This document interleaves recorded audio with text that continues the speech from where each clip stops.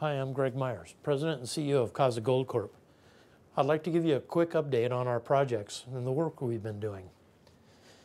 The Santiago project in Chihuahua, we're currently drilling and we've begun on hole number one.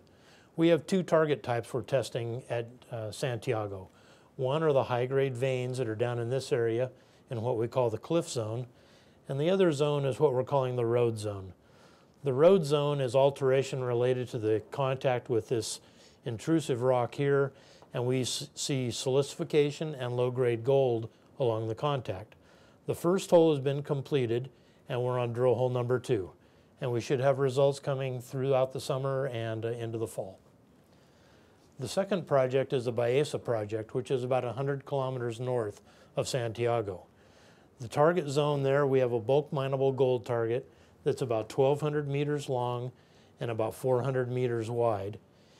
And within this zone, uh, we have a, a, lot of sampling that has taken place, and any of the colored dots that you see here are above the cutoff grade that they use it at the Dolores mine. We have about four to 5,000 meters of drilling planned, and we're drilling right now on hole number one. Uh, that hole is underneath a previous drill hole that was put in by Hochschild that had 60 meters of a half a gram. So we're hoping to at least duplicate those kind of numbers. The third project we're working on is in Nicaragua, and this is our uh, really interesting project that has very large potential down there. We've been mapping and sampling, trying to get a good understanding of the geology, and what we've identified so far is a very large alteration zone.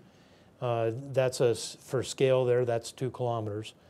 Uh, and what we've seen are eight distinct gold targets within the area. So the main target is down in this area. The highest grade gold that we've collected to date is in this area. That's up to two and a half grams of gold.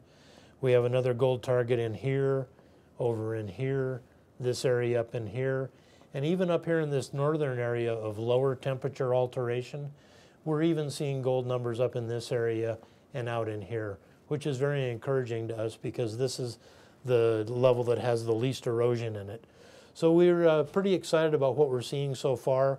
We have a lot of work to go and we'll probably be drilling in early 2012.